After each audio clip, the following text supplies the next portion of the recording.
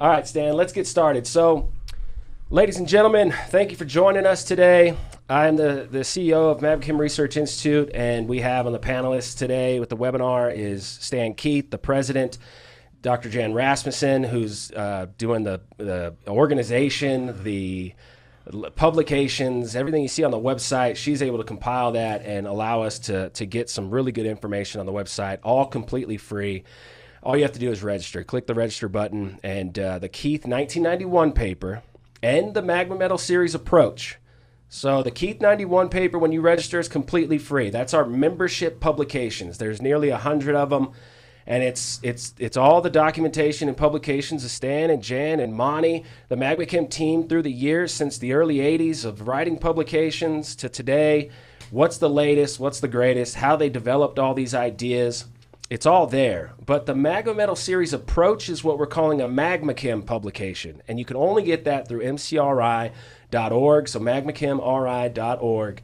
And it's uh, you know it's a nonprofit. We are scraping together our time and attention and effort to make these webinars a thing and get, continue the publications. And so for that one, it's a minimum donation of uh, $25 gets you the Magma Metal Series approach. That's a 2020 document. That's tying it all from the beginning to present after the discovery of the serpentisphere and the UDH model and everything that happened with Stan and the Magmachem team from about 2000 to present. And the upper crust part of this story, linking it to the layered earth model, all that stuff, it, that's that's what that document is and it's an incredible read. It's fascinating data. It's an incredible story. It's all there. It's it's really really fun and entertaining and very educational. So check that out. Uh, 2021 webinar series. We call it the geology of Western United States from a magmachem perspective. It's this is an unfamiliar perspective. It's not in the textbooks. It's not what's taught at academia. Industry is using it, but not everyone's using it. It's it's incredible. Uh, it's it's it's a whole model that uh, that allows us to to take data and and make some distinctions that are very unique and specifically unique for prospecting, for finding mineral deposits, for exploring as geoscientists. So Stan is. He's a true explorer and a true scientist. Um, so we're going to focus on geology of West United States. This is huge. Today it's about Arizona. Today it's going to be uh, we'll get to the end of that, but it starts with what is the magma metal series classification and how does it work? I literally wrestle with Stan intellectually and Jan and everybody else. I go, what is going on here? How does this work? How'd you guys actually build this thing? Well, we are going to go into detail this seven layered logic of how you get through the magma metal series classification in order to make a distinction or an interpretation and a prediction that you have something of economic value.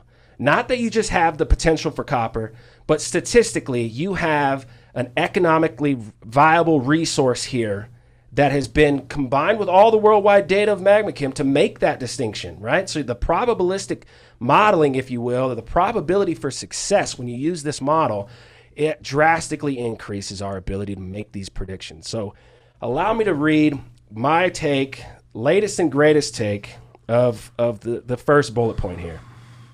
It's empirically evidence based layered classification of magma chemistry and metal mineral associations linked in time and space. In a given model, the data is repeatable, specific, it's source based, that suggests cause and effect predictive relationships between a magmatic source and its hydrothermal product. You determine in one layer at a time from general to specific layering, the ba- uh, and so the boundaries of all the magma the boundaries of all the MagmaChem plots contain off-plot information about the associated mineral deposits, which we uh, which were used to help draw the boundaries of the variation diagrams that you're going to see in this presentation. These lines are put together from Stan and the and the team for many many years with a ton of data. That's how these boundaries are actually drawn. It has immediate exploration implications because of the tie into mineral systems, totally different from academia survey type classifications. Two, major point, it allows one to determine the tectonic setting from the magma petrochemistry, which gets us to the second major bullet point. Again, these we're going to constantly be tying all this in throughout the whole webinar series for the rest of the year. Today we're talking about Arizona. But when you get the petrochemistry and you put all this data together, you are now looking at a surface map of petrochemistry across West United States. And it's telling us at this time slice, 89 to 72, when you have all this compiled and Stan and Monty and the team put this together, this is the implied tectonic setting during this time. And now all of a sudden, if you're standing on a random uh, outcrop in Arizona, you have a geologic model that allows you to go north, south, east, and west and make predictions. And that is, is fascinating. That's fun. That's really cool. Anything else on the, uh, the geologic implications, Stan? Well, I mean, as you go, you're making fundamental tectonic distinctions. So, like for example, when we do the peraluminous metaluminous distinction, you're distinguishing from magmas and ore deposits made in the crust in the peraluminous case, and that is also made in the context of flat plate interaction, either with a subduction zone or a continent-continent collision. And now you can go both ways because now if you're in peraluminous, you know your source started wet. If you're in metaluminous, you could probably make the assumption that it started dry. Now you're talking water content. Later, you're, you're making these connections from both ways. Whatever data you have, you, you can integrate and innovate. Uh, yeah, but, it also uh, the the negative aspects of the thing are important because if you have a copper occurrence associated with a peraluminous granite, like you do in a few places in the Catalinas north of Tucson, mm-hmm. that is not going to be a porphyry copper type setting. This thing came along after the porphyry coppers and was the real laramide orogeny. Porphyry coppers were just a pregame warm up. Wow. But it's the negative aspects of this as well as the positive aspects that are important because you can interpret the same same thing. If you're in one of those orange alkali calcic things and you mm-hmm. see a good copper occurrence, stay away from it. On the other hand, if you want a good zinc play, that's a place to be. so it's negative, positive. You, you use the whole system today. Yeah, again, the negative is just as important. It's what it isn't that tells you as much about what it is. Love it. Uh, today we're talking Arizona. This is just porphyry copper plays. This is nine brown fields and eight green fields that Stan and the team have highlighted with all this research and work they've done in the last three years on this Mineralogy of Arizona textbook, all the economically potential things that have dropped out that's what we're going to get to in the later part of this specific presentation uh, today. One more major point that Stan wanted to make, as we'll go to the website real quick. Um, this is last year's webinar, and so the the webinar series this year is all about basically from the 19 late 1960s when you're originally mapping and you started putting the story together to about 2000 which is the magma metal series classification. That's all mantle layered modeling. That's all this stuff. The UDH part of this was not possible without all that work that happened before 2000. With that foundation, Stan was able to then take it even further with the UDH model. So when you go into our website, and again, this is all free to everybody that registers, you will find the geology of kerogen, the geology of serpentinization, steatization, diamondoids, mud volcanism, an incredible journey around the globe of compiling data and making sense of it using the UDH model. Uh, and so take a, take a look at all that. It comes with the recorded webinars that are edited down to, to be you know efficient to deliver information, and you also get the presentations. So that set us up for 2021. We are going to go hard into the metals. We're going today hard into Arizona, but it's it's hydrocarbons, it's graphene, it's metals. It has this state is a geologic wonder. And uh, and let's get started, Stan. What do you think? Well, just for openers, hydrocarbon deposits are not biogenically sourced. They're ultimately magmatic and deep sourced. Yeah. They have a UDH story to them, and we'll see a little of that towards the end the at the Dineh-bi-Keyah field. Right. Okay, so uh, this actually follows on a talk that we gave a week ago mm-hmm. to the AGS Society, and, and we've vastly expanded it into a two hour format.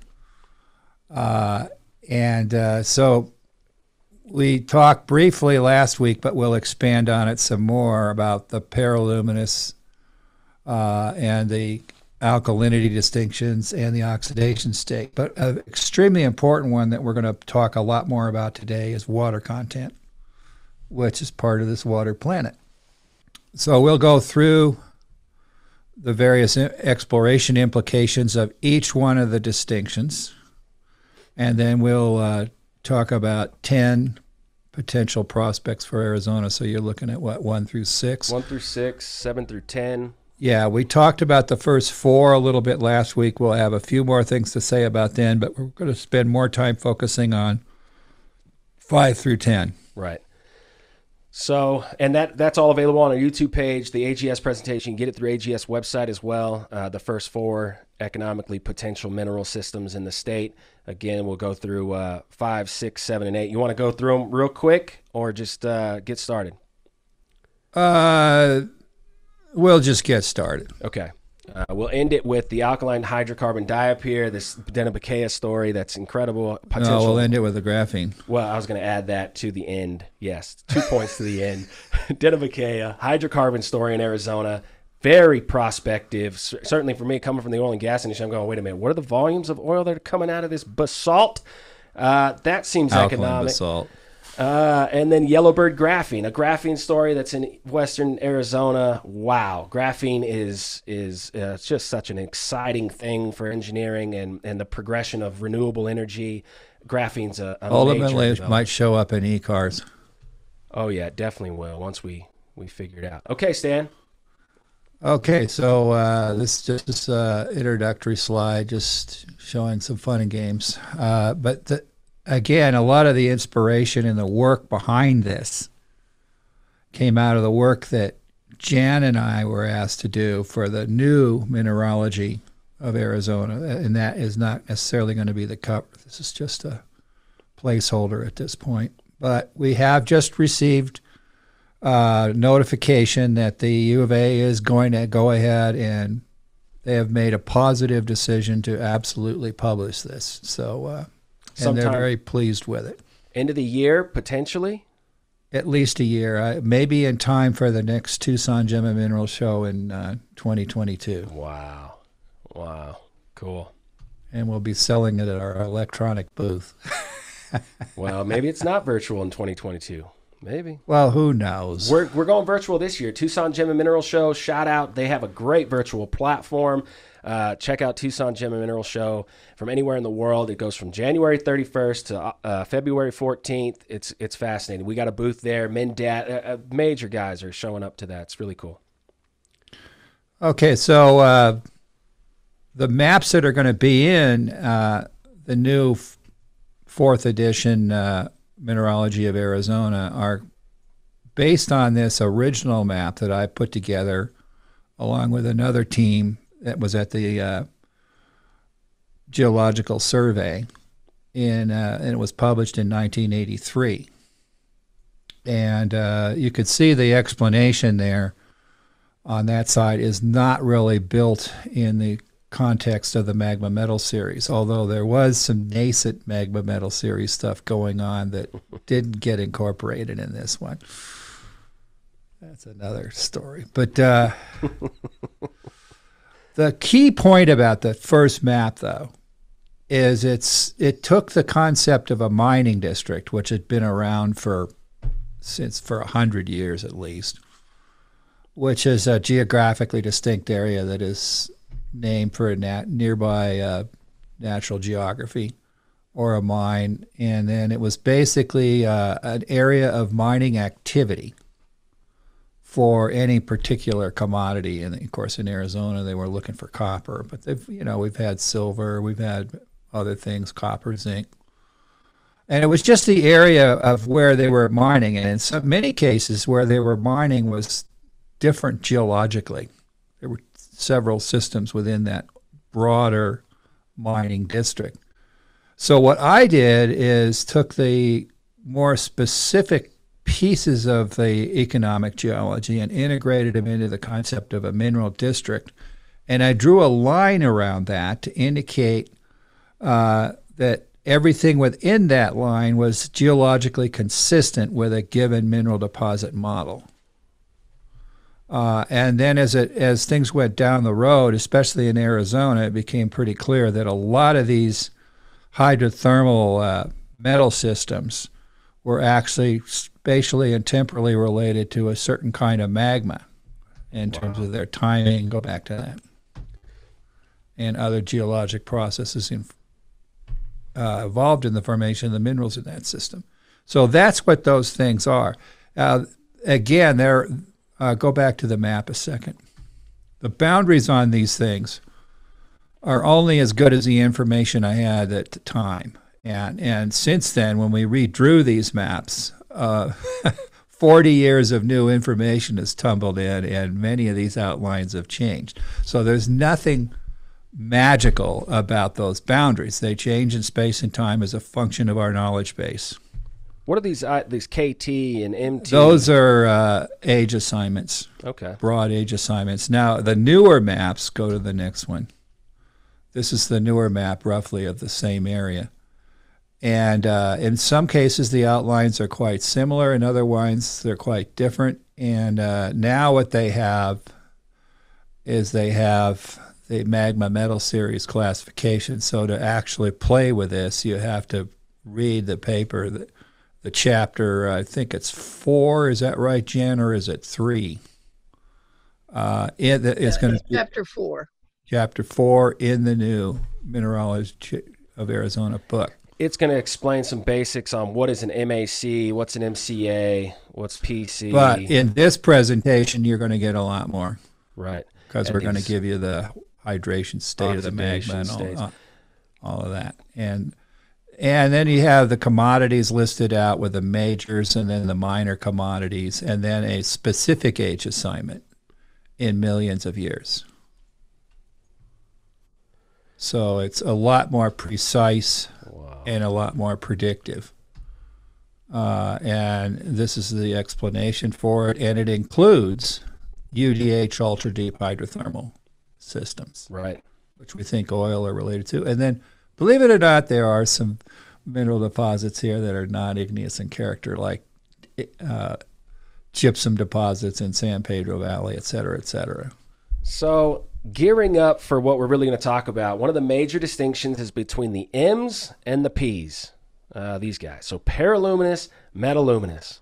Make sure to keep note on that peraluminous, metaluminous, the M's and the P's, the colors. This is all in regards to this massive amount of data that's been compiled and synthesized to make economically viable predictions about a deposit.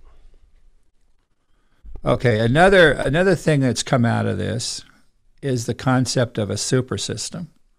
And that's a geographically distinct area that contains the same metallogenic type that basically implies the existence of a larger batholithic source uh, in the middle crust within that outline. So that's sort of a midi metallogenic uh, province, in this case, uh, tuned up for peraluminous calc-alkalic system. So in that outline, you'll find a little bit of base metal, but mostly what you're going to find here is tungsten beryllium deposits. Wow. And Pontac, what is that? Or how do you say that? Pentac? Yeah, that's the super system. Right. This is that dot. For that entire outline. And then the individual minerals districts are like Papago, Bobby, Kitt Peak, Quinlan. And each one of these ages is, is overlapping with another one, probably. Yeah. yeah. And in some cases where I have a question mark, for example, we don't have a hard radiometric date on it. So we're arguing by anal- the uh, mineral assemblage analogy and the rough intrusive paragenesis that it is a peraluminous calc-alkaline. Wow. All right. Okay, so this is sort of what uh, Troy was talking about earlier an empirically based correlation of magma metal series and mineral associations linked in space and time. And again, the really key thing here is we take the concept of the mineral association seriously. We did not quiz or have tea with an academic to figure out what the difference was between high K calc-alkalic and medium K calc-alkalic. Uh, so uh, we, we asked the mineral deposit gold silver ratios what they had to say about it off plot in terms of a K silica diagram. And so that's how those boundaries were drawn. Right. Because they're source based – they have predictivity. They're not just descriptions of copper veins versus copper replacement deposits. That doesn't tell you anything about where it came from. It just gives you a physical description. And that's not good enough to be predictive in terms of trying to find another one because the calc-alkalic magma source can take several physical formats, as do all of these different magmatic sources. Peraluminous plate tectonic setting suggested flat subduction, peraluminous, steep subduction, metaluminous, deep source, shallow crustal melt source going on here. Totally different. Well, when you make that peraluminous metaluminous distinction, you're making the most fundamental of all of them because you're ultimately determining whether it's the source of the magma and its metallogenic products was the crust or the mantle. But you're not doing that up front. That's an inference that you're making. Because what you really want to be doing initially is describing the thing chemically. And then from that, you can go on and say, okay, this is a tectonic setting scenario, which you're almost always doing. But but it's that's not the first thing you're doing. You're basically getting a chemical description of what's going on. So you got to distinguish between description and interpretation. Mm. And as long as you keep doing that, then you won't start mixing and matching with other things and then screwing yourself up, tying yourself up in your underwear. this is a cool one. The tools that you're getting from this are re- they're regional tools, they're specific location tools. You're you're talking Pluton vectoring, elemental dispersion analysis, this stuff that you can go from to point to point, from data point to point, data point, and then also your tools that allow you to have a regional perspective. Okay, yeah. What we're going to be talking about today is the stuff that's highlighted in the yellow at the bottom, using the classification from a regional tectonic and metallogenic analysis. So this would be what most of you guys in the exploration business call area selection, regional area selection. Got a question? Finding favorable areas for where these things will occur. From Joey Dean. So peraluminous can be made up of a past metaluminous system. Answer to that is no. Whoa. Uh, these aren't remobilized, and I'm one of the things that came out of all of this data is that remobilization is a dead concept. Wow. And what happens is if a new like in the Catalinas, for example, you have 70% of it is peraluminous Eocene age magmatism, but it's intruded by uh, younger metaluminous magmatism, the so called Catalina suite of plutons, that is not remade from the peraluminous at all. You're not redoing it, nor is the peraluminous from uh, a reconstitution of an earlier suite called the Leatherwood suite. They represent separate magmatic events generated from separate magmatic sources. Wow. wow in one case, question. the wilderness suite peraluminous is crust, and the other one is various sources in the mantle, and it all ties into the subduction zone history of what's going on in Arizona. Fantastic question. Wait a minute, not done there. Okay, so Pluton vectoring, element dispersion analysis, kinematic structural analysis, detailed geologic mapping are what you do to try to determine drill target scale uh, stuff, as opposed to the regional thing, which allows you to select a thing at the district scale. You got a big body of rock that has statistically favorable outcome for what you're looking for at the regional scale. Then you got to do the rest of that stuff to figure out where you're going to put your drill hole to get to get the best results. That's right. So this just shows a qualitative uh, Pluton vectoring study that is in the uh, Ajo pit, New Cornelia pit, showing differentiation vectors leading from the west to the east towards a stage four target that's just peeking out and uh, potentially is mineable. There is a lot of room based on this analysis for expansion of the copper play to the southeast southeast. Wow. So uh, Phelps Dodge now Freeport, do not leave this district. That thing is chasing Great brownfields play. A structural event that's at low pressures moving to the southwest that you're talking about. That stage four is fractionating out to the southwest because of a structural event that's taking it there. Ultimately, these are what guides emplacement eh, from a magmatic to hydrothermal scale is pressure, even more so than temperature. These things are looking for low pressure trap sites, just like the oil guys in their little anticline models. But there's a hell of a lot more going on there than just anticline traps. so this was the, just a little quickie historical note. Our first mega chart was done in 1983, September at the behest of Ray Morley, uh, then of Utah, and uh, then with BHP, and now he's subsequently retired. But rooting us on. yeah, one of our supporters.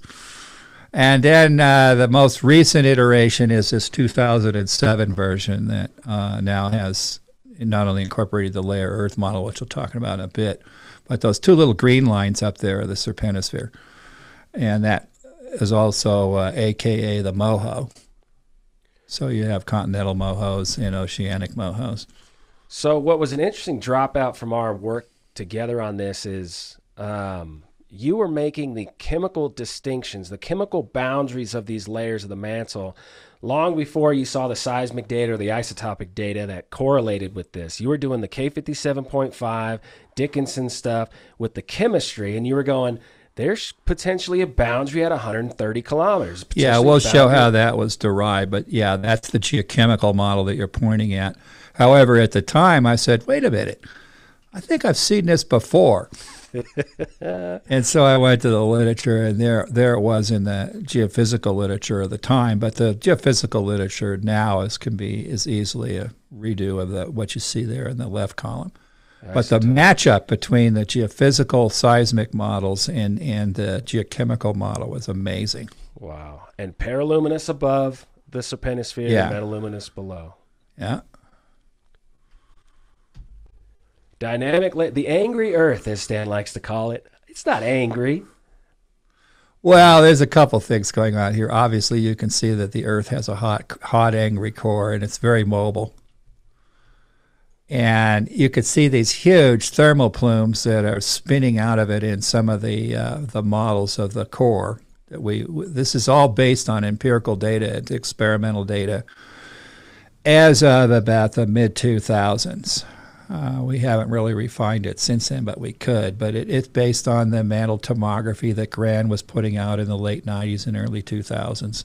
That team, and uh, and so the, all of those little blues and oranges are different uh, pieces of seismic tomography in terms of velocity data. This is cold, dense slab falling into the mantle. Yeah, and these are. Yeah, it's amazing how the the the D double prime layer, which uh, Troy's pointing at, is quite mountainous in the vicinity of descending slabs. I just saw a Google you know notification of someone talking about these massive mountains around the core of our of our Earth. This is the D double prime. Yeah, those are big. The biggest mountains on Earth are the D in the D double prime layer, and they're they're piled up dead slabs. Perovskite. What I looked like, yeah.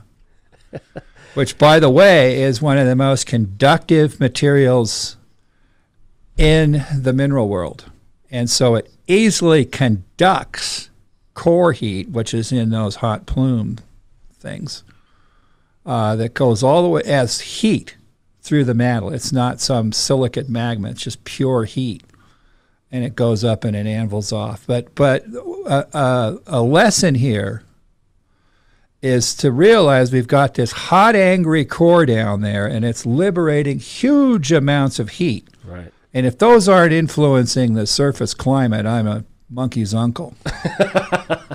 but well go to the literature and see how much of that core model is yep. being incorporated in our current climate. We need to understand what's going on this planet before we start broadcasting what we think we know about climate because a lot we really be we need to be looking under our feet as much as we need to be looking up towards the sun, which typically gets blamed for everything. Right. That's a. It's interesting. We we did a little research on the serpentosphere for that UDH webinar, so you can go to that and really talk about this incredibly massive event around the world. It's hot.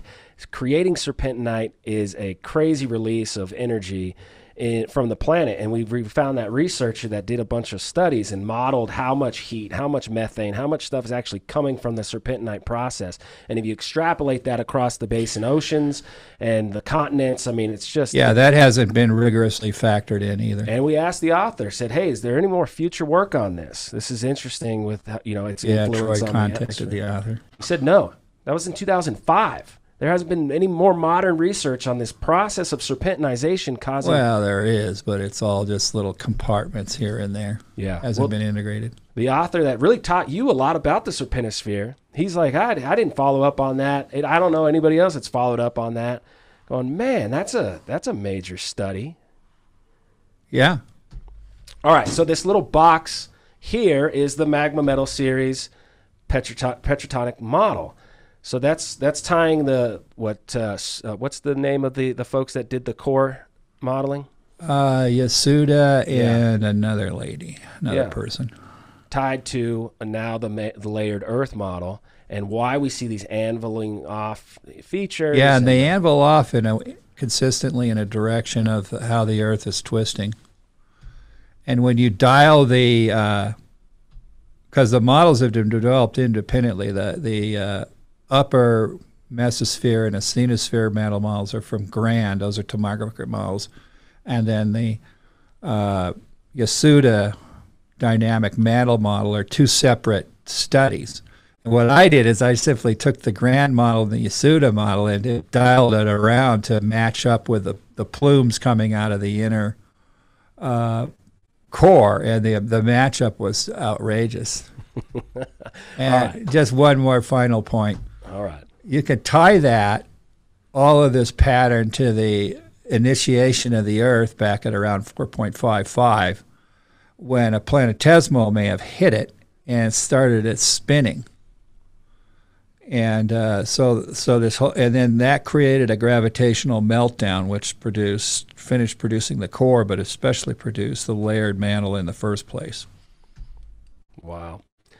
All right, the magma metal series classification source, process, and hydrothermal. Seven layered logic is kind of broken down generally like that. Yeah, as this thing developed, uh, it became clear what was related in terms of volume, magma volume, mass, uh, which would be your source of your copper and your lead, zinc, precious metals, etc. Uh, and what was more related to a process that allowed you to get the metals out of the out of the magma. Uh, so the wow. first several layers, the aluminum content and the alkalinity, are all about source.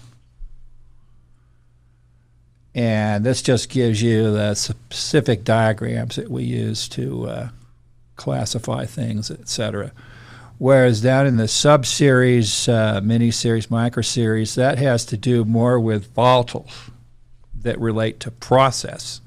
So, in effect, a magma is a silicate liquid, which is mostly classified by the source. And most people use uh, various diagrams similar to the ones that we're talking about there in the right column to classify magmas. Alkalinity is a very popular one. Peraluminous is a real popular one. So you'll see that widespread in the literature. What you won't see in the literature is what we have as, process, uh, except for the AFM diagram. But we have reinterpreted the AFM diagram not to talk about so much about iron content. The iron content is more about the hydration state of the magma. If you've got hydrous magmas in there, they remove iron Mm. If you've got anhydrous minerals in there, they, they remove magnesium, and that produces Whoa. two fundamental diagrams Whoa. on that plot, and we'll talk about that a little bit later. Wow. You can get all the details of this in the 91 Keith paper. Yeah. It's on the website. Uh, check that out. Two recommended readings the one that Troy just mentioned, but the other one that's a really important one here because we updated the layered mantle model considerably in there and a lot of other things uh, is the 1996 Keith and Swan porphyry copper. It's a lot more. It's about a lot more than what porphyry coppers are. It's about the layered earth model. It's about what porphyry coppers are not, etc. So wow. you'll have fun with that. That's appeared in GSN. Nice.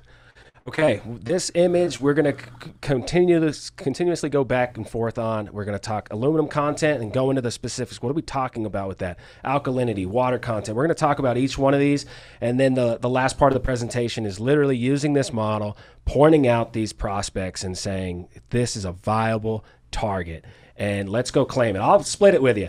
let's go claim it.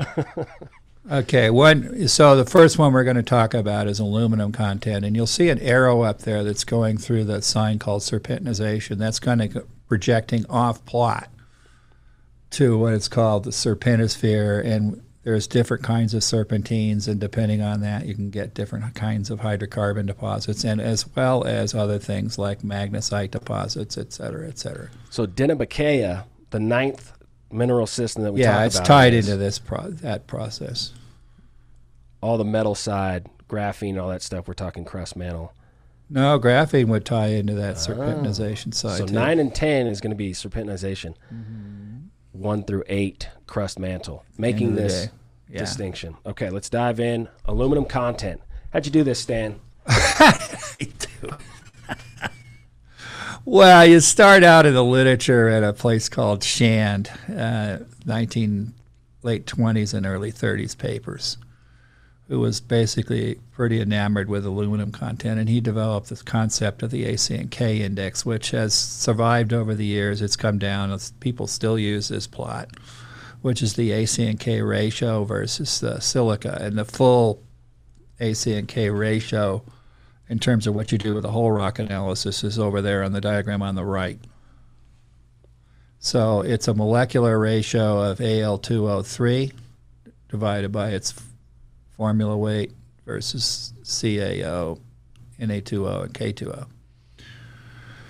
Okay. That gives you a number, and you plot that. That's one of those points on there. Typically gives you a steep positive slope, like you're looking at there. For a typical metaluminous series, that just happens to be a representative bunch of data compiled by, well, determined by Lang for the Arizona Porphyry Copper Suite. Just to show you what typical data looks like. And then that the one on the left is for peraluminous muscovite granite slash plus or minus garnet plutons that you find in Nevada, and you can see that the two will overlap in that 1.1 to 1.0 range. This weakly metaluminous to yeah. weakly peraluminous yeah. story. And so a really important point in addition to the AC and K, especially if you're in the overlap region, is to use the mineralogy. You will not find a grain of hornblende in peraluminous rocks or pyroxene or olivine and you will not typically find a whole rock analysis, except in a few cases, below 65 weight percent silica. Whereas in a metaluminous case, you're going to find lots of ferromagnesium minerals oh. like oh. hornblende, amphiboles, Whoa. pyroxenes, and olivines. Wow. So when you're looking at outcrop and you're like, the data's coming back that I'm in the weakly peraluminous, weakly metaluminous. What am I in here? And you're looking at it, you could do it. By oh yeah, you don't you know you don't need this plot.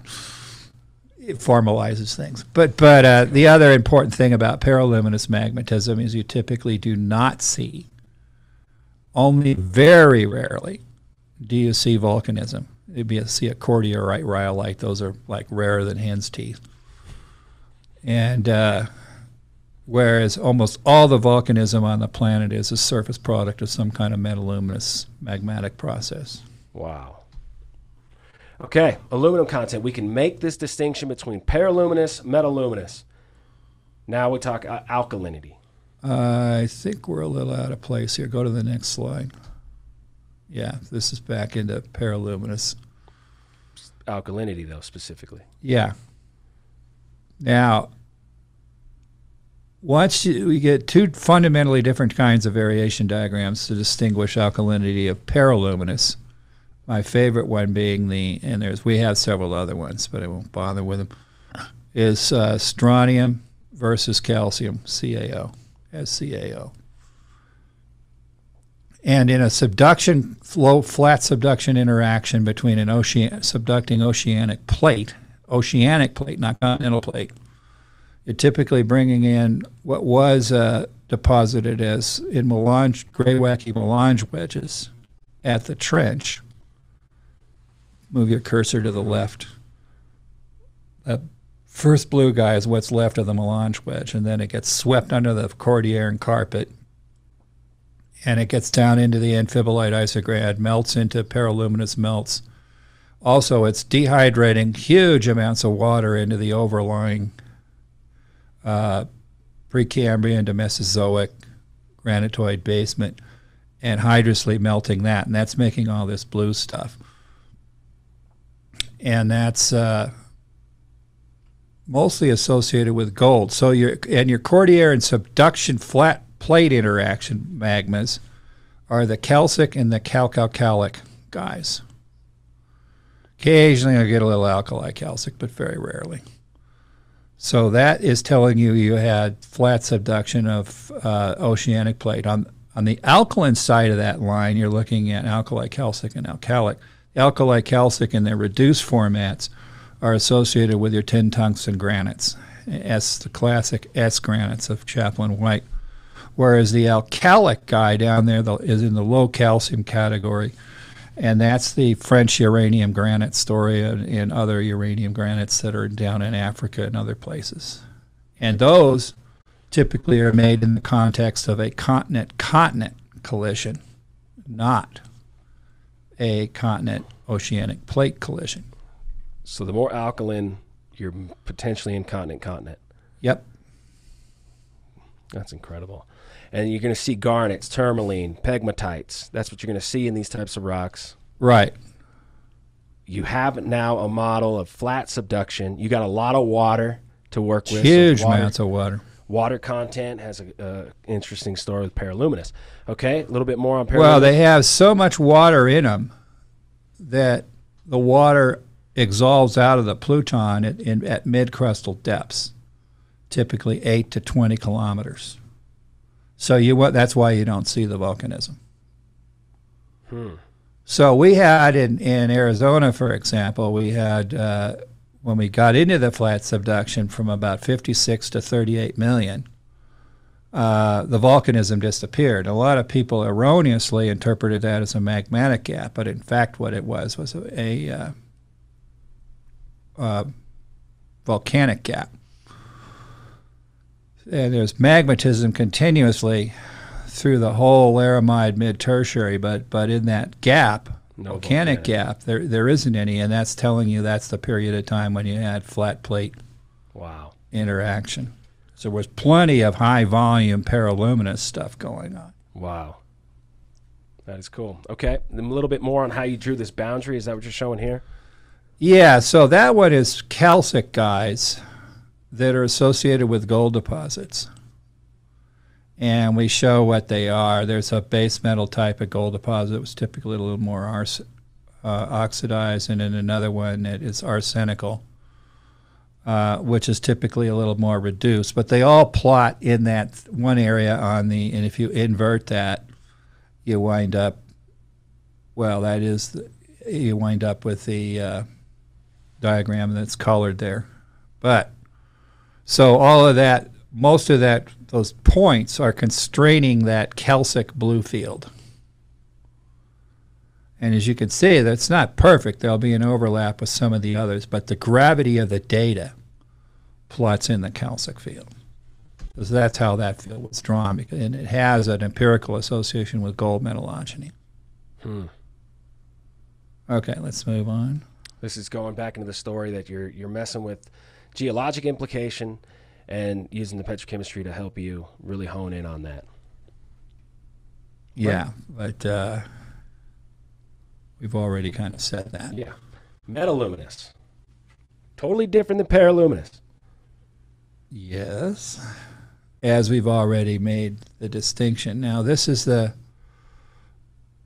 my favorite diagram to break out the alkalinity on this one is the K silica diagram. And these are pretty hard fields that distinguish various kinds of alkalinities in metaluminous magma series. Uh, one of my favorites on this one is the alkali calcic calc transition. The alkali calcics uh, have tricked people. They're, they're sucker plays for gold. The gold occurrences get tracked down in Nevada and they wind up typically never being commercial if you go after this model. Hasbrouck Mountain is one of my favorite examples there. Maybe it is a mine now, but it's not much of one. Um, and uh, that's south of Tonopah. And, and if you're looking at copper occurrences in alkali calcics, which we have a lot of in here in, here in Arizona, that's attracted a lot of exploration flies, and they've struck out for copper typically. Uh, Johnson Camp is one of my favorite examples there. I always get kicked by the various people that are in there, but uh, go for it. Because they've been data? going for it for 100 years now, and they still haven't been able to make that into a good copper mine. You're probably not going to change Because of all the zinc. Probably not going to change that. However, how many uh, data points do you think would plot in that for you to draw those lines? How many? Uh, what are we talking about? Hundreds? Hundreds. Hundreds thousands. Thousands of data points that have drawn these lines. And yeah, we'll see down below how many we just have for the mid tertiary, for example. Wow metaluminous. You're going steep subduction. Yeah. You got so it's sampling and hydrously melting all of those different layers in the in the upper asthenosphere mantle. It's a layered mantle configuration. And unlike peraluminous, these things are not starting out wet. These things are starting out dry. The mantle is a pretty dry place. It's going to pick up its water somewhere, and when it does that, picks it up in two places. Initial bump in the subduction zone to hydrously melt the thing, but it's still relatively dry. And then to get metallogenic, it needs to acquire water in a tectonically mature crust, which you're pointing at. And then that adds it and gets it into hornblende stability, which we're going to talk about. And that's what leads to porphyry styles of metallogeny. The goodies. Porphyry coppers, copper mollies being the most well known ones. But as far as I'm concerned, lead, zinc, copper deposits are also another version of porphyry metal Pluton sourced metallogeny. But hornblende is present on the line in all of those. And we'll see that in a, in a minute. Wow. Okay, so let's. How, quick question. If you t- run a one of your timelines or time slices, right, of Western uh, United States, shows that at that time the arc, it, it suggests an where the arc was, the angle of the arc, if it's rotating, the steepness of the subduction. You're getting a ton of information based on what you're seeing in these rocks across the top of the Yeah, and the way you do that is with the K57.5 index, and we're going to go go there. Let's go on to that. That's this guy. Ah. And uh, so this is where I got started in a 1978 geology paper, which I referred to as the flapping slab paper. The editors at uh, GSA Geology magazine initially got rejected, and that's another long story. But uh, they, they, when it, when it finally got accepted, they said we never rejected it because of the dinosaur that's in here, which is a fake take on what. And of course, he's still living on our T-shirts. And uh, but this just shows you what you can do in space and time, uh, especially if you plot the K silica chemistry. So uh, I'm showing a K, up in the A thing there. Uh, you can see the uh, a K silica diagram pointing to the calcic part of the arc, which has a low K57.5 number, and then as the thing starts to flatten, you move the arc variable dip flattening moves eastward. And you're going to First see guy that to notice this in 1910 was Lindgren. You see it right across the, the, the states, right across the land. You yeah, and these things march as a chemically banded arc. Wow.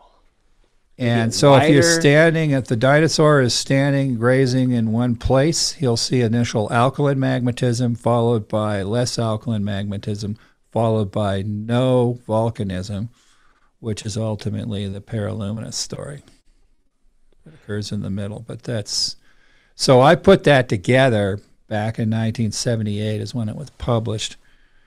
And one of the things that I didn't have time, but I obviously took some time later on. That's what became MagmaChem was that in every one of those there was a metal association. So lead, zinc, silver was following what's the orange band on the mega chart, whereas copper and or gold, depending on oxidation state, was following the yellow band or yellow layer. And you could, uh, so I, I tracked the alkalinity of the arc by mapping the K57.5 indexes in space and time. This is just showing it in cross section form. Now, what is the K57.5 index? It's a very famous and I think that one of the most petrologically significant alkalinity indexes of all time, developed by a geophysicist by the name of Trevor Hatherton and a sedimentologist by the name of Bill Dickinson, who unfortunately is no longer with us, but he's one of the my great mentors, and I still miss him. But they developed that relationship. This is showing K57.5 on the x-axis versus depth, and Dickinson compiled all the chemistry, and Trevor Hatherton, the, the uh, geophysicist, compiled all of the subduction zones. And so that's the K57.5 of an andesitic volcano, for example. These are all quaternary volcanoes plotted versus the depth that it stood above the subduction zone as defined by the seismicity data. Wow. And that produces a subduction looking thing if you plot it in this format. Sure. And w- since then, I've gotten newer data that takes this same relationship linearly down to about 700 kilometers. So wow. this goes all the way through the mantle. Holy smoke! 700 And that comes from these really deep Ladolam, uh, Lihir gold systems uh, on Lihir Island. They stand way above deep subduction zones. Wow. That is cool. So so then what I did is I took the K57.5 indexes of composited data for those various alkalinity divisions, and I determined the K57.5s for the boundaries of all those color bands on there. And that's the solution that you have. And then I matched it to the geophysical story, and I was obviously pretty impressed, as was the rest of the MagmaChem team. okay, so that's alkalinity, water content, major part of the process driver. Right. Of these. So systems. we've started to anticipate that a little bit, and we're going to talk about it in more detail right now. So the first way you do it is uh, you reinterpret what's known as the AFM diagram. Basically, Deer-Howie, Zussman, and the Skaergaard were the first ones to develop this AFM plot. And it's a great plot, but petrologists have debated forever as to what it's telling you. Some people, it's telling you differentiation of primary magmas. Uh, some think it says water content, which is the best interpretation. And after I ask the ore deposits what they have to say about it, they clearly come down on the side of water content. And other other people argue that it's oxidation state, and I've seen that doesn't wow. work either. But wow. the tholeiitic's supposed to be reduced, and the calcalkaline is supposed to be oxidized. And I've seen calc-alkalic sequences that are reduced as hell, and that's your gold story. So forget that take on it in terms of a universal interpretation of that diagram. But really, what it's about is the water content. So the calc alkaline trend, don't don't confuse that with calc alkalic. That's another one of these problems in the petrologic literature that's sort of equivocated. Is uh, you have that trend, and that's because you have hydrous minerals like hornblende and biotites and micas, and they are selectively removing iron relative to magnesium. So that flattens out the differentiation trajectory. They all then wind up screaming towards the alkali corner. Whereas in the tholeiitic, you can call that the clinopyroxene magma series too, because clinopyroxene, which is the most common pyroxene in those rocks, is removing magnesium. And so then your residual liquids are getting more iron rich, so the thing is heading up towards the iron corner. But both of those typically are derived from the same source region in the upper asthenosphere. And that can be any of those source regions based on alkalinity. It could be on an alkali calcic one, a calc-alkaline calcic one, you name it. Wow.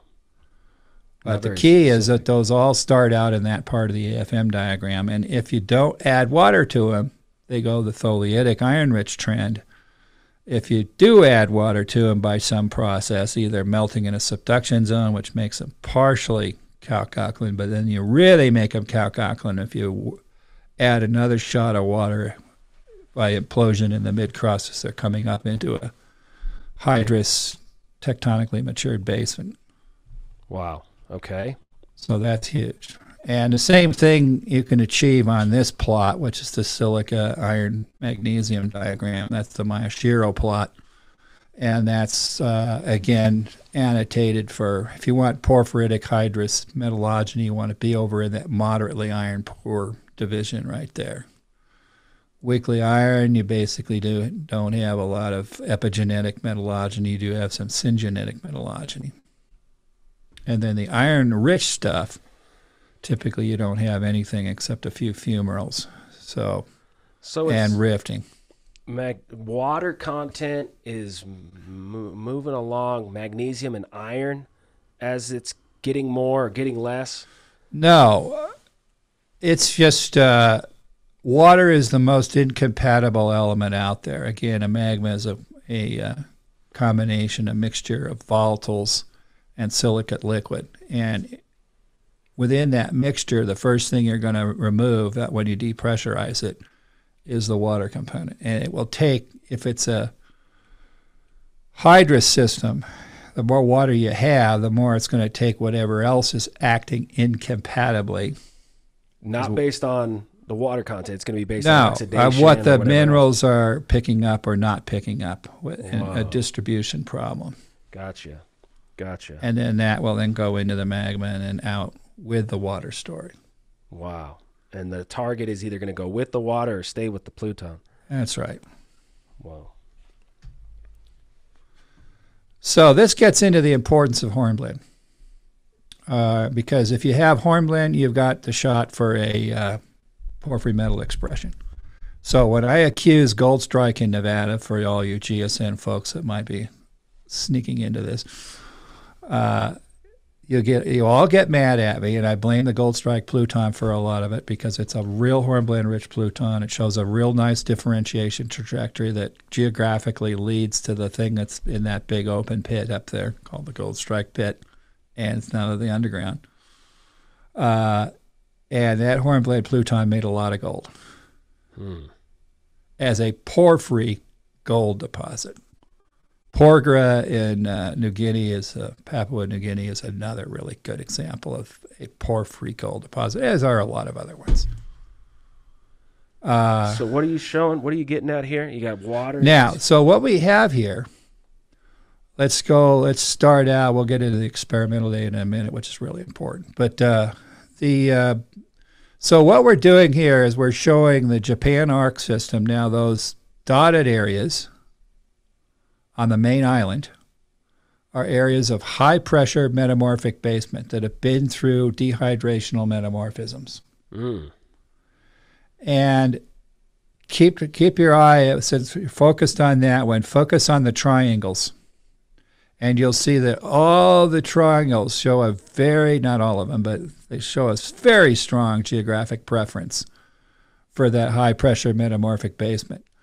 Now, when you get out into the oceanic basements, you'll see no triangles. They're all different other kinds of mineral assemblages like pyroxene, olivine, alkali olivine basalts, uh, mm-hmm. things that do not have hydrous minerals in them. Huh. So they're dry. So your island arc tholeiite magmatism one of its main features is lack of ferromagnesium hydrous amphibole minerals and or micas. Uh, so they're they're dry. And the, the other the major point is if you go to uh, Guam or any of those places that have hydrous, anhydrous uh, tholeiitic island arc basalts, you are you will not see and he that's not a good place to look for metal deposits. Wow. unless you find one that unusually might have some hornblende in it. Wow. So something with the tectonic setting of, of this area allowed water to implode into the Yeah, and it's the the metamorphic basement. You have a tectonically matured metamorphic basement that's been through some kind of thrust thickening, which has produced water. Whoa. And what hornblende is a real water hog, as we can see over here on the right in this experimental plot from Mike Naney, and that is a really, really important paper. Uh, does a lot of things here, but there's two major tracks that I'm emphasizing here. I'm mm-hmm. emphasizing the dry track, okay, which is your pyroxene track with a, maybe a little bit of biotite at the tail end. You get a little water, but but that's non-metallogenic. It's the dry path, and that's what you see out in those oceanic islet arcs, etc. Okay. Now you got a metamorphic tectonically matured basement. You got track two, which where the magmas as they come up through that basement, are acquiring water via high pressure implosion of a supercritical water that gets into the magma under magmatic conditions and it produces hornblende. And as you can see from this vertical line on here, get your pointer out. Uh, no, go over this that guy. Uh huh. That's the water line, basically. And on the right side of that water line, you got hornblende stable. And you've got several assemblages, which is really quite interesting. And You'll notice I've gone out here and put stage one, stage two, stage. We have all that at Troy Ranch, by the way. Is that right? Yeah. This is it helps you with the rock system part of the story. That's correct. Oh, so man. when hornblende disappears, that's between stage three and stage four in that little game. Yeah that's when you release all of a sudden you got a water crisis problem because there's no no mineral around that can grab the water like hornblende because mainly you've lost calcium calcium it's also a calcium hog so that then it produces a big water release and if you whatever's incompatible at that point will go with it go on with it wow. and in, in the case of an oxidized metaluminous calc-alkalic sequence that's copper and Whoa. moly Whoa. Stage three to stage, stage four. four. Yeah. Whoa. Those are the guys you want to be tracking. If you haven't got any of those in your sequence, and I have a lot of guys out there have been tracking the tortilla diorites over south of Ray and in the Tortilla Mountains, and if you don't have those stage three, four differentiates, you're a dead duck. Whoa, man, that's. And they've been making that mistake in that mountain range for 30 years. Wow. Ever since I've been a geologist the hornblende stays the whole time, or what happens in the rocks in that in that sequence? Well, usually what happens is that they just crap out. They don't produce enough residual felsic liquids. So you don't get the biotite granodiorite. You need a big, large volume biotite granodiorite and or a biotite alaskite granite, which is the stage four or five. So it's a, a volume problem. The water didn't take all the copper with it to deposit a big. Well, if the volume. thing crystallizes at that point, then it's lights out and it's game over. So you got to go somewhere where that you could vector it, and you can keep vectoring it to where you might find the stage three and the four. You got to find those, and then you'll find a spatially related copper deposit. Oh man, that is cool. Okay, what are we talking here, Stan? So this just shows uh, how the crust makes its water. Okay. So the uh, the diagram on the right above upper, up, sorry, upper left. Uh, that's a green schist assemblage, and it has actinolite, hornblende, uh, chlorite, chlorite being the dash lines in the middle, uh, whole series of hydrous minerals, and then, but basically at the green schist amphibolite transition, which typically occurs around 550 degrees centigrade. That's that gap on the diagram. Then you go into where you make a whole bunch of hornblende which has a lot less water than chlorite and actinolite, especially chlorite. Chlorite has eight hydroxyls, hornblende has two hydroxyls. Whoa. So, so then if you go over onto the tableized data here, that's kind of the looking at a metabasalt in the biotite amphibole zone, and that's doing a mass count balance and all that mineralogy over there, and it calculates how much water you have at the end of the day. Then you go into the hornblende oligoclase zone, which is the amphibolite facies, and it has 3.68. You do the difference, and you've created 1.462 excess water. Everything else is isochemical if you look at the whole rock chemistry. The only thing basically that's happened here is you've lost water. And it's typically sitting as free water in cracks, waiting for an arc overprint to come to that tectonically matured basement. This is from the Russian Kola Peninsula well. There's been no arc in there since that happened. And uh, then it'll get it. And this just shows uh, wow. uh, Russians have backed that up with some analytical data. So the, uh, the green schist amphibolite transition is where that dashed horizontal line is. And you can see the shift in water content so that uh, how much less water there is in the amphibolite basement rock versus the green schist facies rock. And there's a lot of water out there in the crust. They found a lot of clean water in cracks. Wow. In that, oh, in the overpressured amphibolite crust. just bring an arc to that, and that, that water is just going to implode into whatever that relatively wow. dry magma is. Wow, we got to do a, a, podcast or a webinar just on water. water is it's a water planet. Incredible. So does that actually happen? Well, of course it does. and the first place that I found that was in the Adamant Pluton up in British Columbia, but by a great paper by Peter Fox. You got to go find that. That that's a uh, GSC uh, bulletin and he did a great job documenting hydrous metamorphism in the Adamant Pluton. And subsequently, it's been dated with zircons, and they are showing the same thing. That's really cool. Okay, so basically, the Adamant Pluton is an isochemical uh, quartz monzonite to monzonite Pluton. Uh, and normally, what you see on a uh, Harker variation plot, which is we're looking at various versions of here. Let's look at just look K2O versus. Uh, I think he's got differentiation. He's got some kind of differentiation indicator on there, and you can see that the, the more differentiated in K2O space is out at two, and uh, oh, sorry, as a function of distance from the Pluton content. So that's two kilometers, I think and you can see there's no change, so it's isochemical. So there's lots of different mineral phases, et cetera, but on a on an overall basis, the lines are flat. Weight percent's going up this scale. So yeah. K2O. Yeah, and A2O doesn't really change. Iron doesn't really change. Normally, you'll see a nice slope, hmm. but you don't see them. There's a little bit of it in magnesium. Silica's flat. And uh, but the only thing that does change. Let's go to the next plot next slide. And here they are in compositional space, is water content. So in the clinopyroxene rich core phase of the Pluton, go back to the, that's this guy at the in the middle. To keep well there, and then that guy right in there. Yeah, that's the clinopyroxene core phase. So go back to that.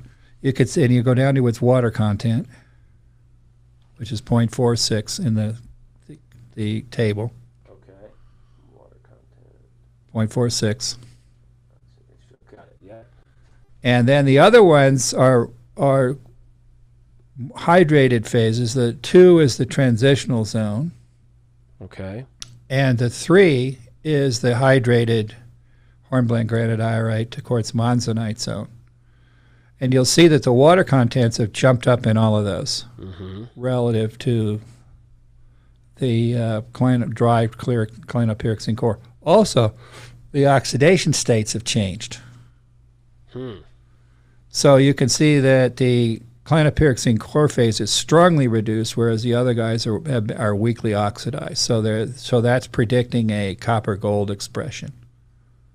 Now, petro- so that's the chemical evidence, and now we've got direct petrographic evidence, which he's showing in these thin sections uh, drawings.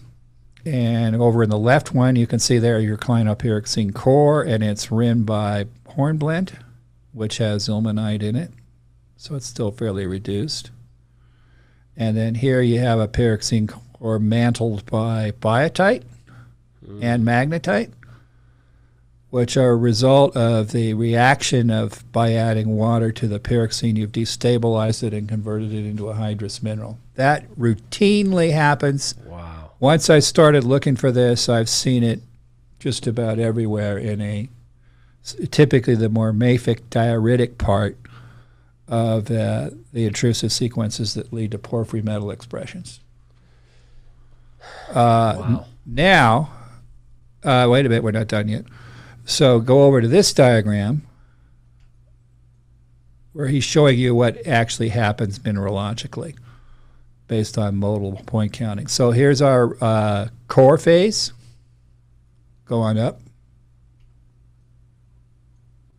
That's the monzonite core reduced. That's its mineral assemblages, so plagioclase, alkali feldspar, augite, hypersthene, and hematite ilmenite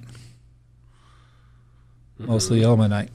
Okay, so then we go through the transition zone into the oxidized assemblage, and then oxidized assemblage has plagioclase, alkali feldspar. Now we've got biotite, hornblende, quartz, apatite, magnetite, and we've got a rutile ilmenite. And note that we've got zircon coming in online here late in that differentiation sequence. He did not see zircon in the core phase, which is too bad. So at this line you have water available, but you don't have the arc yet. You don't have the plu- you don't have that pluton. Well, you have it. So it's come up. Mm-hmm.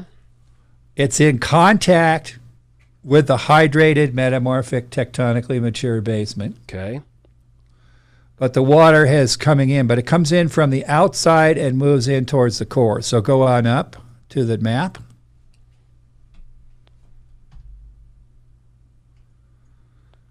So the core phase is in the center. So what happened is the water came from the outside and it migrated in, and, and that's just a relic that didn't get hydrated.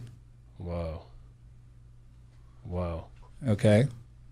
But when it got hydrated, also it achieved the oxidation state equilibrium with the wall rock. So that is a that's what changed. Wall that. rock contributed volatile fluid. Yes. Wow. And that's what assimilation really is. Whoa. In igneous rocks. It is not where the thing comes in and has enough thermal mass to melt the surrounding wall rocks and then achieve uh, density and viscosity equilibrium and, and, to produce mixing. That does not happen. These, uh, these do not have enough energy to do that. If they get into the mid upper crust, they are losing energy. Right. What, but they are capable of assimilating supercritical water. It's got to be supercritical. It will be. It has to be at that point. This guy produced a little epidote uh-huh. in the biotite hornblende granodiorite phase. And the important point about that is epidote has been shown to be a relatively deep mineral. Guess is this thing formed at fi- all these reactions occurred at 15 to 20 Clicks. Wow. Wow within the kyanite sillimanite isograd, which the pluton actually cuts in the metamorphic sequence that it's that it's in placed into. Wow. Okay. So, but that is a very typical sequence of what you encounter in the mid crust. Now, what happens? Okay, so this shows. Um, let's drop down to the next slide. Okay, so this is some zircons that were more recently. Peter Fox did his work in 1968. Uh, this is a 2005 paper, and uh, they got some zircons and finally got this thing dated, and it's 168, 66 to 168 million. But you can go further than that. The zircon started forming in the outer part of the pluton, and those are cores. If you add those cores up, you get about 168 million plus or minus 1.25. Now you'll see those white rims. Those are uh, cathode luminescent limbs. So, so they're luminescent, and those are typically produced, and I've seen a lot of this, by hydrous metamorphism of the zircon. Wow.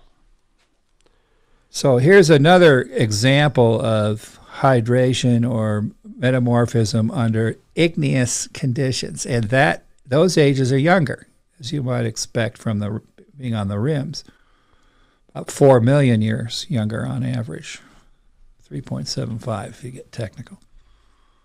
Um, and then if you look at the stuff that I've outlined in red, that's the rim data, or what he's referring to as mantle data, and that is chemically a little bit different. It's a little more uranium rich relative to thorium, and that's typical of uh, metamorphism. Uh, but you can see that it's quite different from the cores in most cases, except for that last one down there. But there's an idea that there's some kind of, and that's the fourth guy over there, and he's kind of in a mixture between the core and the rim, so it's not a clear core number like the other ones are. Uh, so that could conveniently explain that.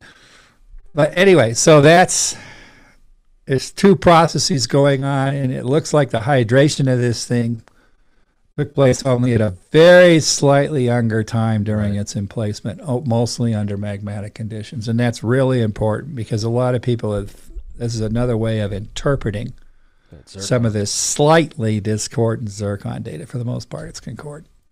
Wow. Okay, let's do it. And I'll come back down. You want to go, back, go back up to this guy. Okay, now the diagram on the left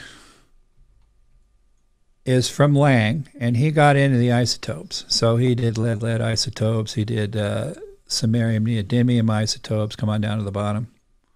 As your epsilon neodymium numbers.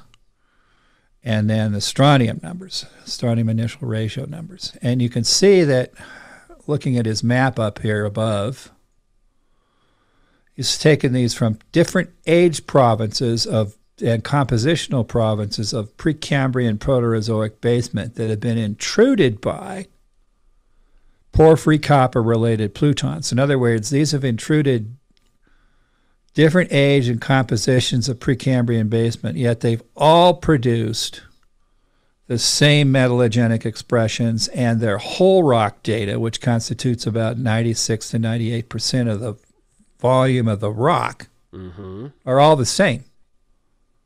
So all of this isotopic noise is being produced by isotopes that were soluble in these imploding fluids from different age provinces. Wow. So these are not melt products. These are just simulated volatile products that these things acquired from the basement as they were coming through and getting up into hornblende stability. So when they got into that hornblende stability, they were able to they're quite hydrated and they wanted, and once they got up into the depressurizing zone, so this is the cartoon over of this whole thing over at the right. You can read this at your leisure.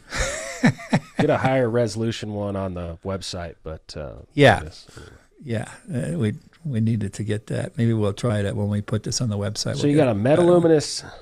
There's your source melt. Yep. That's adding about two eight percent water and it's coming through the lithospheric mantle and it gets into the crust, which is where it is encountering all of these volatiles. And I'm showing those as little dotted things in there. Okay. Especially at metamorphic transitions, et cetera. And if there's a, a crack that it's coming out, there's typically a lot more water in the crack. So it assimilates. So that's uh, sort of a wet zone. It acquires that, gets into hornblende stability, and once you've got that hornblende, when you're out there walking around the field, you're going to be paying a lot more attention to whether hornblende's hanging out in the sequence in the rocks you're walking through. You better be anyway. and you'll just make a note of it and just check the list, and then. But that's a favorable, highly favorable thing. If you can't find hornblende, you bet you're in trouble, especially in the more mafic differentiates. And then this will go through a staged devolatilization. That's the differentiation story we'll be talking about later. And then it produces these different porphyry expressions. Okay, now this is, uh, again, looking at a regional scale thing here uh, that separates metallogenic arc related data from non metallogenic uh, rift related data of the basin range. So when everybody knows, especially up in Nevada, that's the type locality of the basin and range. Our basin and range down here is geomorphically a little bit older. Mm-hmm. So our mountains have been pedimented a lot more. And but nevertheless, we have a magmatism here that allows you to tell whether you're metallogenic or not, especially if you've got all those black dots that are assigned to the Pinacate alkaline rock assemblages. Those are no, that's the story over here on the right And the story on the left is sort of a false positive in terms of metallogenic. It, it doesn't have any hornblende in it, so that's the point. It's, it's a weakly hydrated system. And those guys will show up on this diagram as relatively iron poor. So don't use these diagrams religiously. However, if it's plotting over there on the right side, then you that's get the hell out of Dodge time. uh, Okay, so now you can see it isotopically in the next slide. Go down to below that. So a really nice way to see this is looking at the isotopes. If you see uh, relatively primitive looking strontium isotopes in this case, uh, they're down in the 7025 to 705 range typically. Uh, those are directly sampling mantle. That indicates that the pluton has not, or the magmatism has not seen any crustal volatiles. Wow. It com- it's coming straight up fast, up a basin and range normal fault feeder or something like that. And it might differentiate at the tail end of its thing a rhyolite. So you get this bimodal association of basalt rhyolite that petrology's recognized for ever. But that shows a distinct jump up to subduction related stuff, which has seen water. And that's produced, raised the, coming from the same sources, it's raised the strontium isotopes up to above 0.705. And that's arc related. Now, very commonly, the isotope geologists interpret this as a uh, different kind of magma that has a different strontium isotopic source. From a magma metal series point of view, I would this is interpreted as a magma that could be coming from the same source, but it's just seen water mm. during its ascent. That's brought in a little bit of isotopic contamination effect. Mm. And that's typical of a subduction zone. Whereas a true rifting, you're going to see the actual mantle value of the source in the isotopes. Wow. Now, the other thing that's more important from an exploration point of view is that metallogeny comes up and it just stops at a wall at about 13 million. Uh-huh. There's nothing of importance associated with the rift related stuff. Right. It's all related to subduction and the more isotopically contaminated stuff. So halogens, Stan. Uh, okay. So the thing that you use there, again, it's about volatiles, but volatiles can influence the mineralogy again. So, and, and in particular, what we're talking about here is chlorine and fluorine. And uh, so that comes in, and if it's a chlorine bias track, you'll see those uh, triangles over on the left side of the chlorine fluorine diagram. And that's an oceanic peralkaline track. And what is a peralkaline rock? That's where there's an aluminum deficiency. Mm. Uh, so that at the end of the sequence, you're making one feldspar, typically in an orthoclase feldspar, and that's called peralkaline at that point. Whereas all the other metaluminous guys are two feldspar rocks. Now, if you're doing continental, you pick up a little bit more fluorine, and that creates a sort of continental peralkaline track.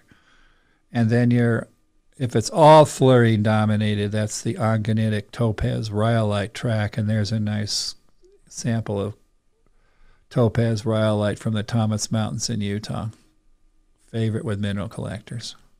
And we have one locality of that, well, a couple localities of that in Arizona and you'll have to wait until the new mineralogy book, or you can get it out of the third edition, but we'll talk more about it in the fourth edition. Mm-hmm. And another thing it does to that is that it it produces the high fluorine track is also a high rubidium track, and if you're looking for molybdenum rhyolites, relate, uh, molybdenum related rhyolites, you want what you were just pointing at with the pointer, or over there in the ongonitic track. That's the moly beryllium track. Wait a minute. And then the zirconium one is the peralkaline track. So you produce a lot of zircon at the end of the fractionation sequence in these guys, and it raises the zirconium up into very high levels. And the normal one, which is most metaluminous rocks, is down there near the origin at less than 300 ppm rubidium and uh, 400 ppm zirconium. Wow. Aluminum, alkalinity, water, chlorine, fluorine. Pull that data out, start organizing it with the magma metal series classification. Yeah, if you start seeing anomalous, but what typically happens, and that's why get, it's a lot easier to get rubidium and zirconium and numbers out of your geochemistry. Chlorine and fluorine take special techniques, and that's fairly expensive to do. So, hmm. that's cool. The cheap way around it is the rubidium zirconium right. plot. Nice. Exploration budgets are low, Stan. Don't have money. we know that. All right, oxidation state. Yeah, now that's another uh, process-related uh, parameter. Again, that has to do with the oxidation state of the volatiles, mostly in the water. So it's the hydrogen-oxygen ratio. More specifically, it's how much hydrogen you've got that's going to influence things. Wow.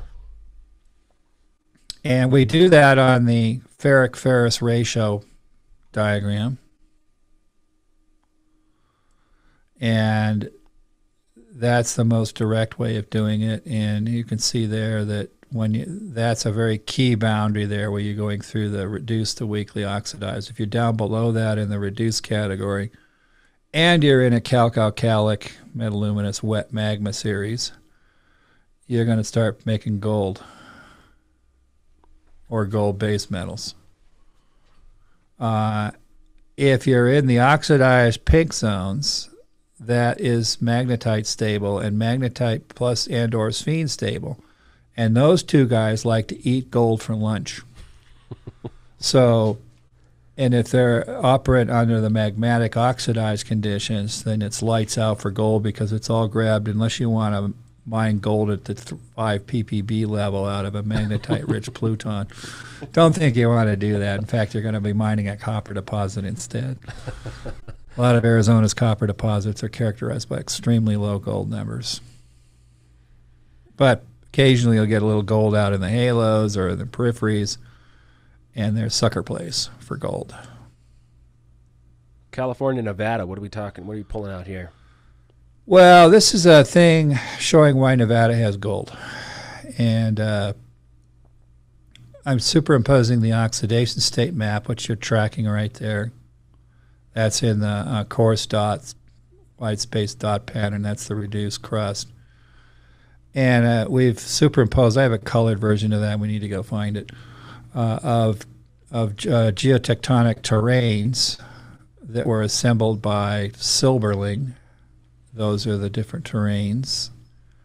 WPD, for example, go down there, is the Walker Lake terrane. And that's really kind of where the oxidized Mesozoic arc is.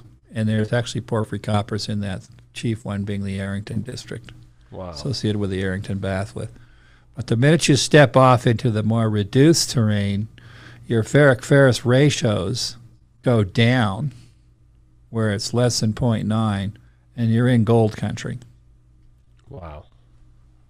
So magnetite is not stable under those conditions, so gold is free to act incompatibly and partition into the hydrothermal fluid component when it leaves.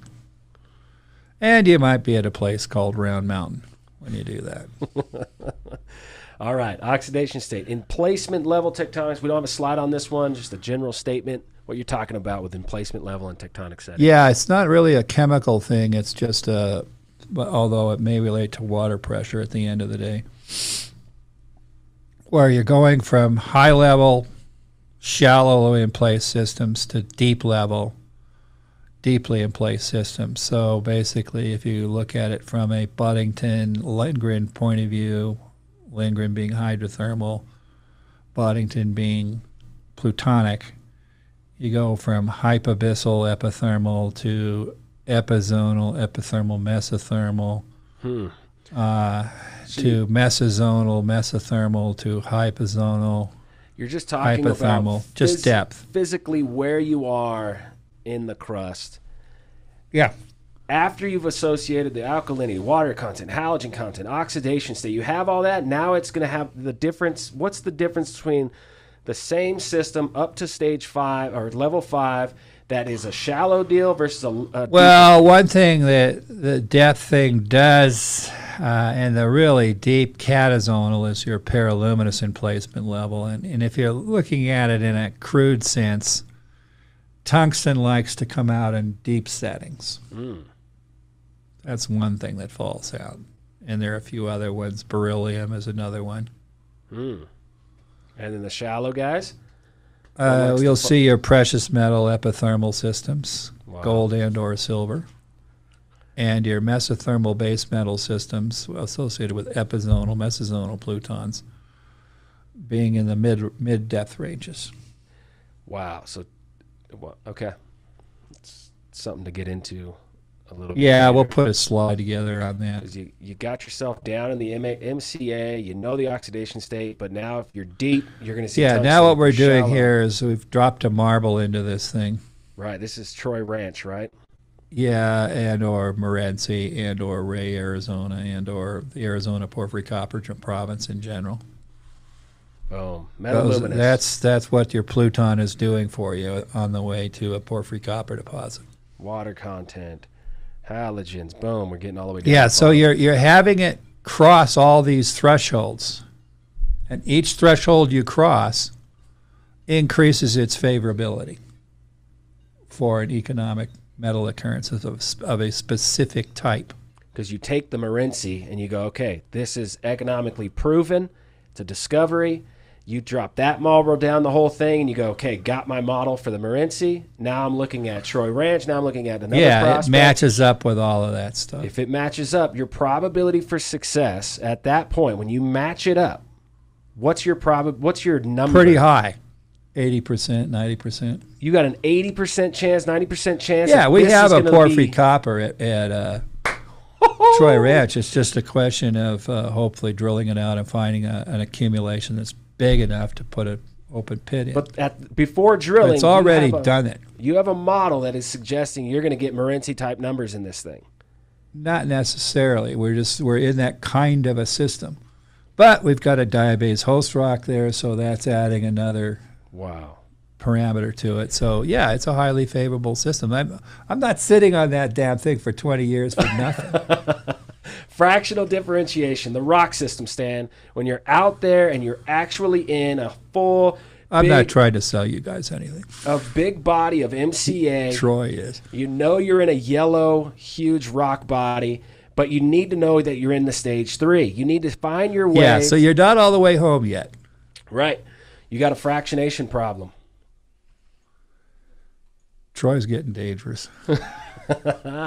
stage two, stage three, stage four.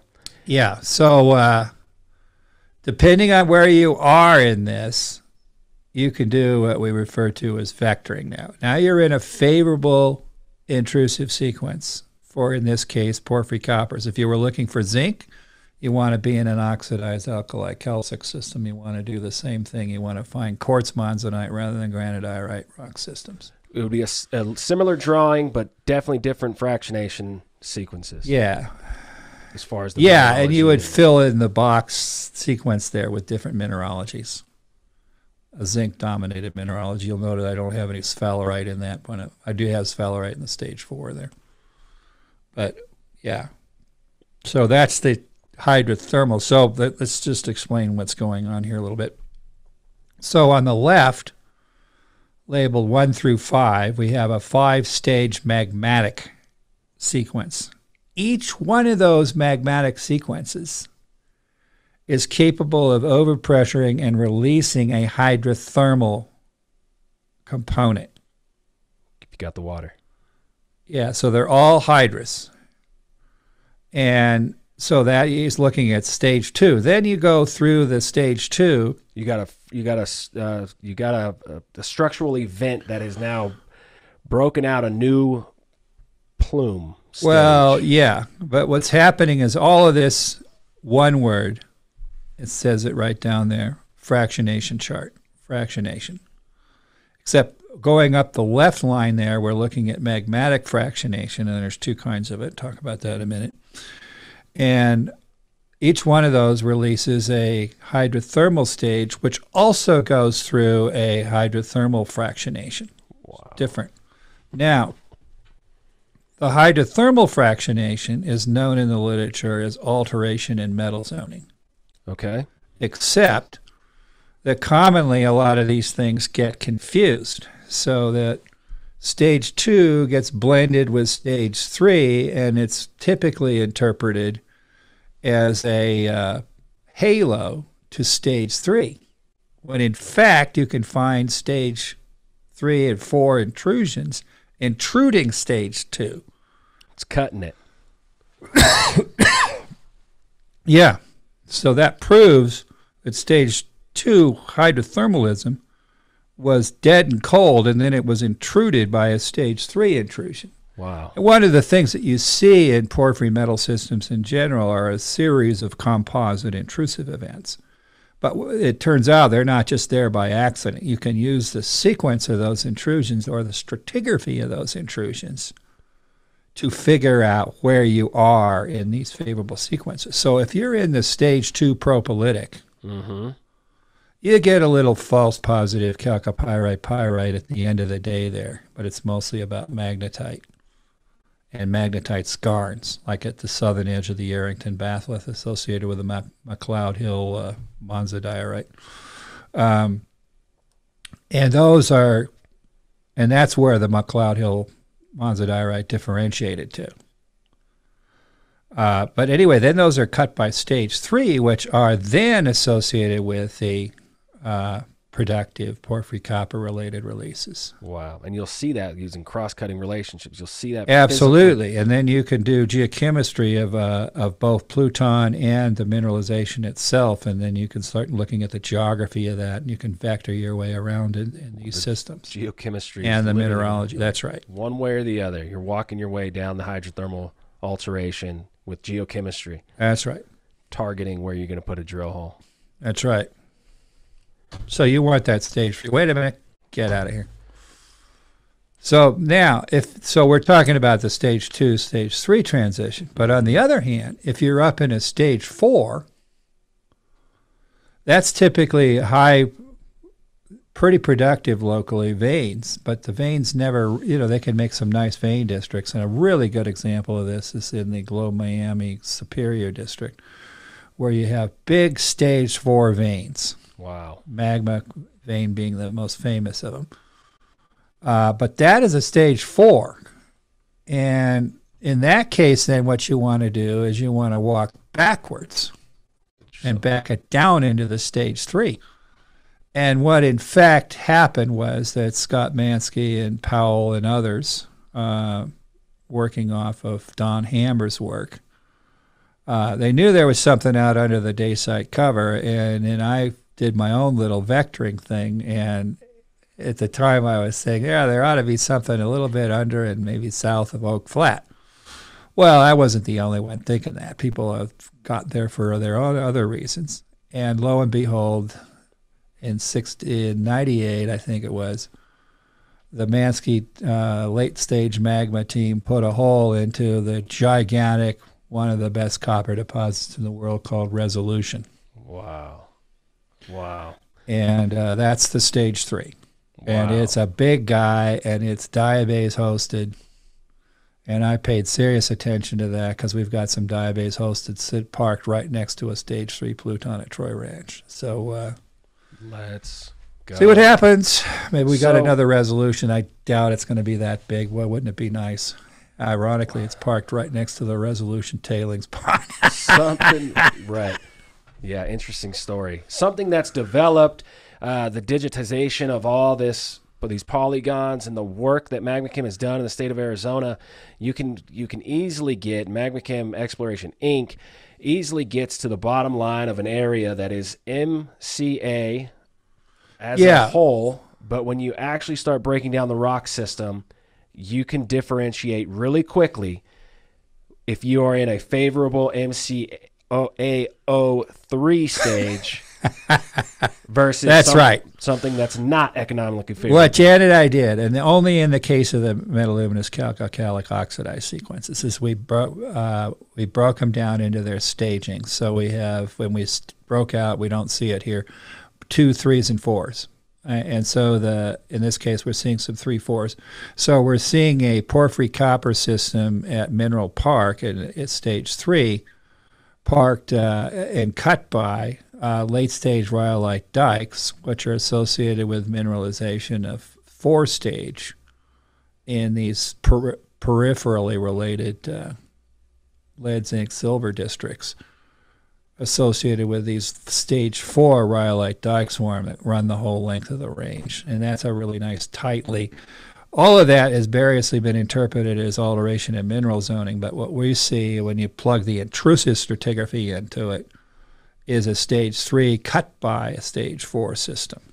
Wow. So a lot of what people were interpreting as peripheral lead zinc zoning relative to the copper mineralization are in fact polymetallic veins associated with the late stage rhyolitic systems of stage four vintage. And that Mineral Park is a classic example of that. So this work has been done across the state of Arizona, also just regional geolo- geology from pre-Cambrian to present and all these major features that we were planning to go into. And I honestly got to say, last night when we finished this, putting this together, I really thought this was a two hour talk. I really did. No way. Didn't even get close.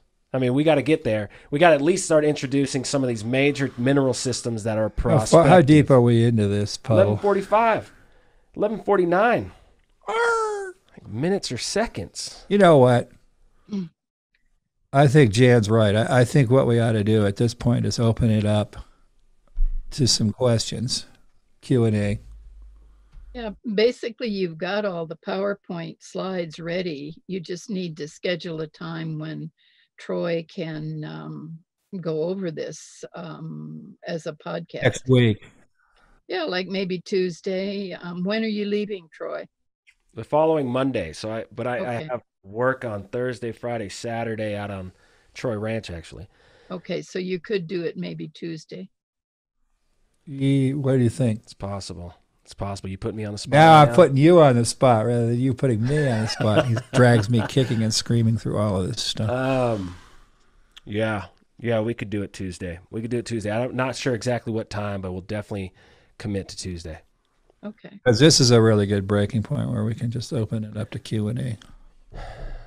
Yeah, and and going through the maps, the areas, and pointing out using the metal system and all this work that's dropped out these ages, the geology, the locations of major prospects. So you guys that are sitting here right now are lucky because you've got the preamble to what's going to happen on Tuesday, potentially next week. Uh, and if you didn't hear this front end, a lot of this stuff that we're going to talk about next week will be Greek to you. Because I'm going to assume you guys heard all this one. Yeah. Now you can read those two references, and we'll have this PowerPoint here online at the end of the day. So, yeah. so you can get prep, or if you've got friends that didn't hear this, they can they can listen to this and go through the first PowerPoint, which will be a P in PDF form, and uh, get ready for what's coming at you next Tuesday. Yeah.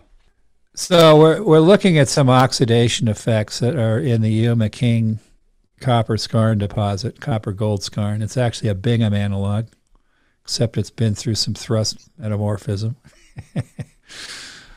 but uh, some people you know, like, uh, know about this. In fact, uh, a lot of the old PD hands have, have heard of this. Okay, so here we have spider web turquoise down there in the core stick. We, we found an interval of that just above the level of this chrysocolla seam in the underground working. The turquoise is uh, blow up the cross section a little bit. Okay, you can see the word turquoise there down over to your left. It's pointing at the core section right there. That's where that core section comes from. There was about 10 feet of it. About 1.3 was giving good copper numbers. Uh, what turquoise is for me when I'm looking for porphyries is it's a argillic alteration mineral. It's typically found in late stage four argillically altered rocks. So it's uh, whereas chrysocolla, which you're looking at there in that right, that's there's a hell of a lot more chrysocolla here. And that's typically in the oxidized zones developed above stage threes if you're in the right system. And it's above the copper rich zone, and then you go down into the chalcocite rich zone. Uh, let's go over to the, the chalcocite blanket cartoon. Uh, let's pull back out into the PowerPoint. We're going to talk about this next week. Um, let's see, go on up. No, it's down. Oh, there it is. Okay, go over to the right. That guy. So, if you're at, at, most all of the copper exploration crowd knows this like the back of their hand, but it's what used to be, uh, it still is called the iron hat or the red thumbprint that sits up in the copper leach zone above a porphyry, although you don't want to get too enamored with that because it's just an iron rich gossan.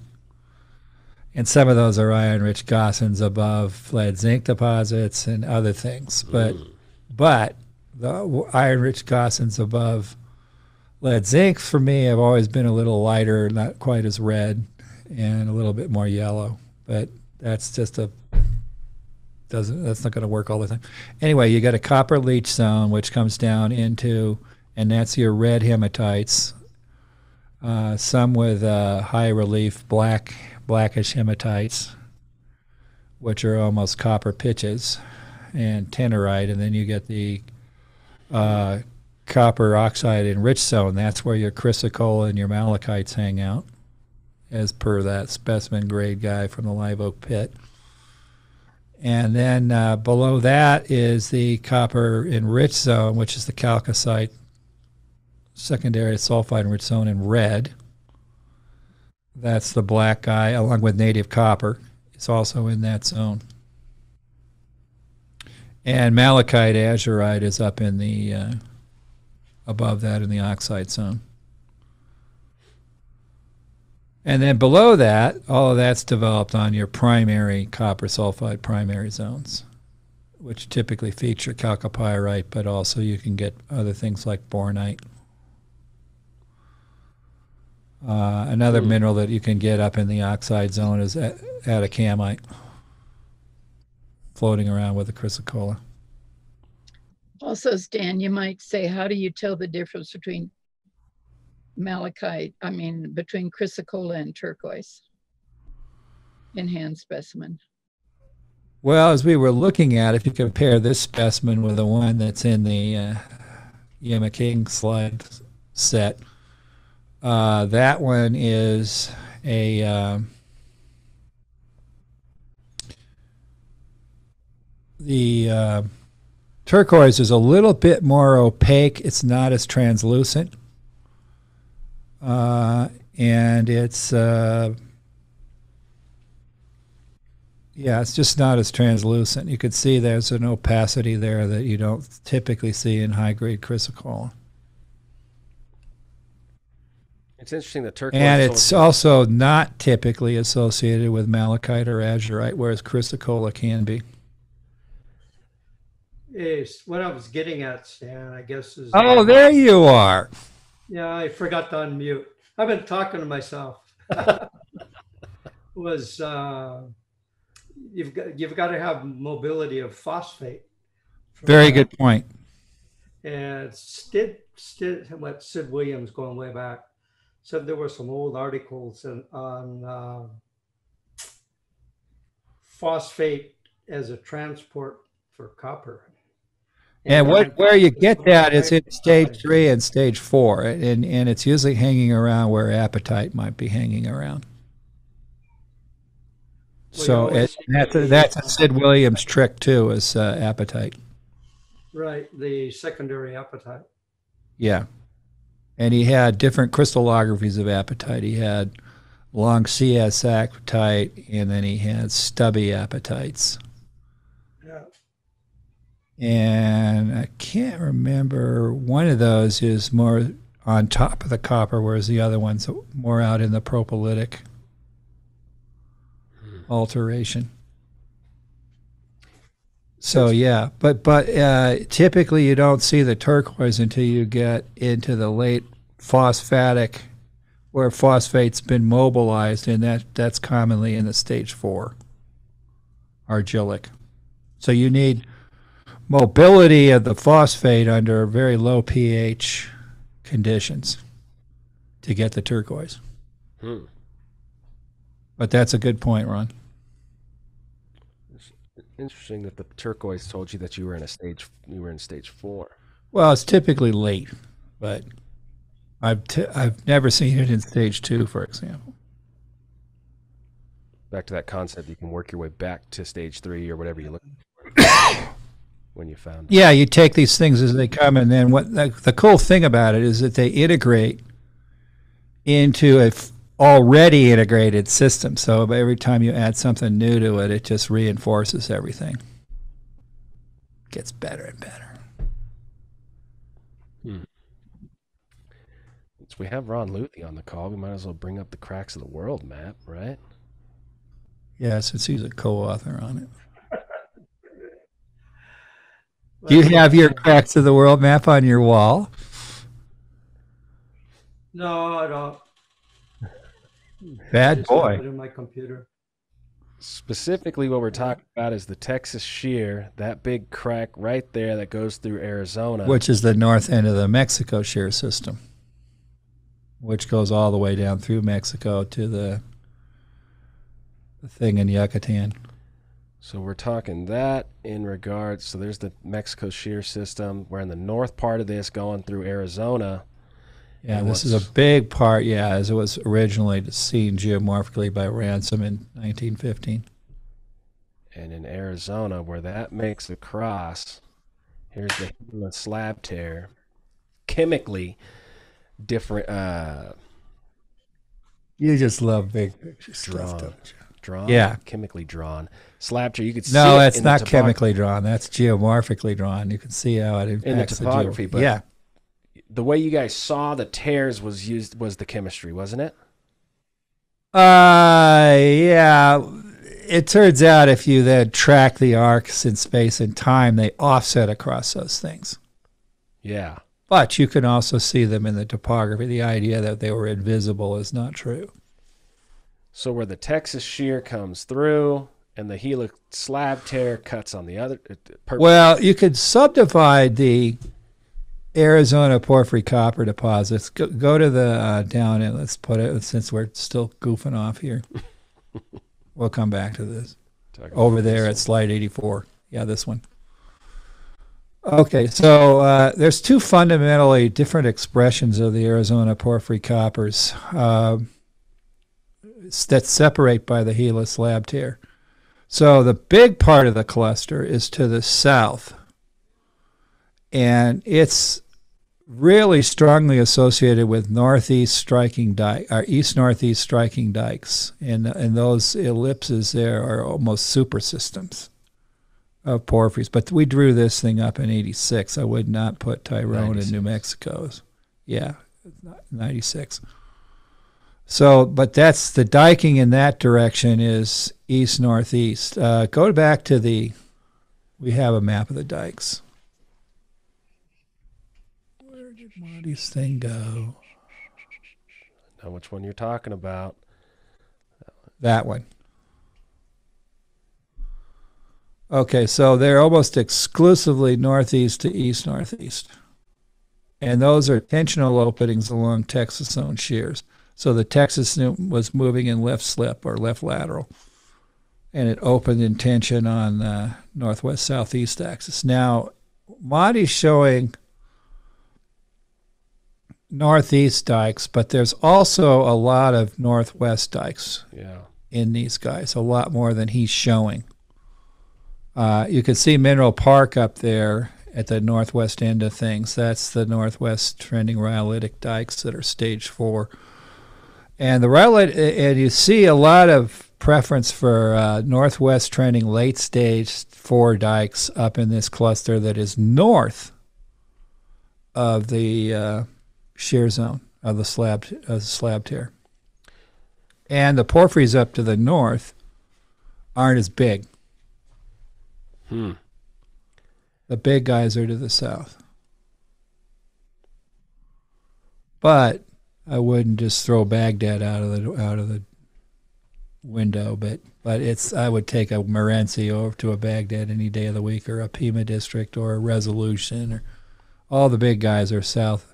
And it's interesting that where the slab tear crosses the northernmost one, which contains Resolution, uh, there's a stock up there, a stage two stock called the Silver King stock. It's about 70 million.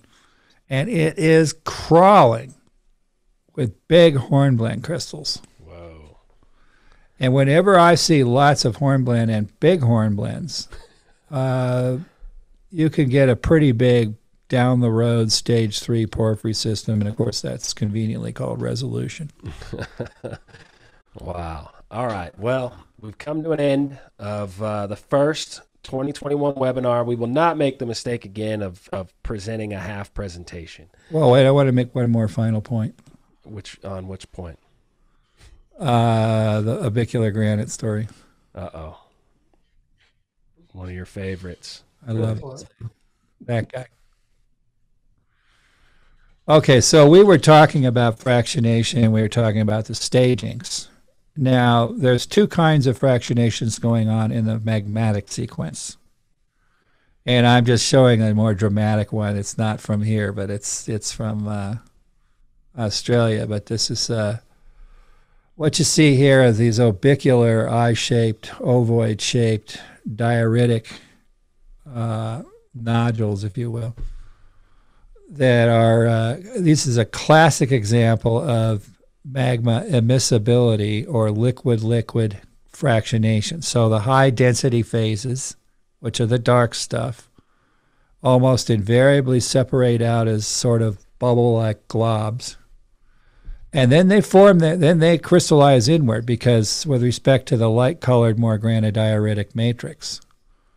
Uh, so they're their own little uh, igneous system, and it's on the steps of the Suzzallo Library. We need to put those up uh, they actually belched out a little bit of hydrothermal fractionate that altered the surrounding matrix.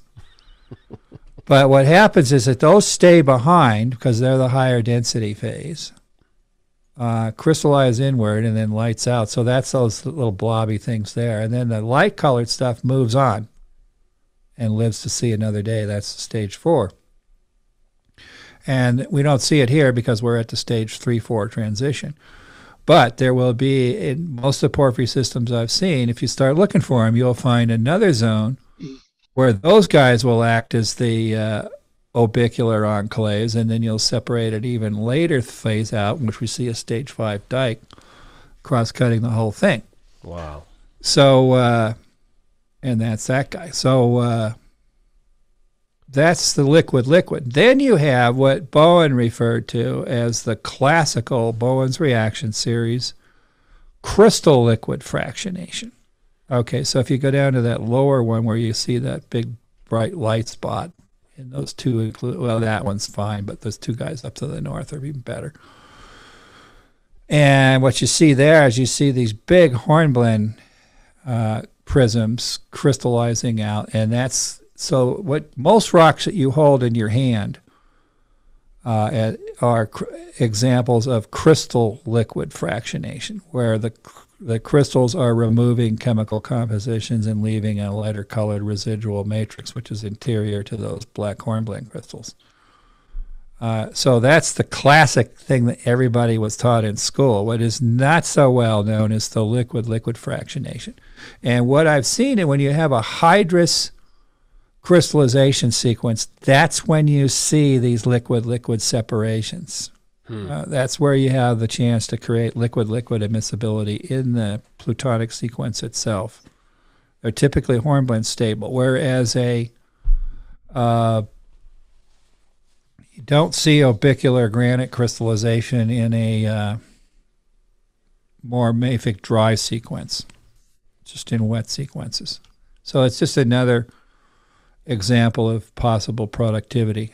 Uh, chi- Chile's loaded with these things.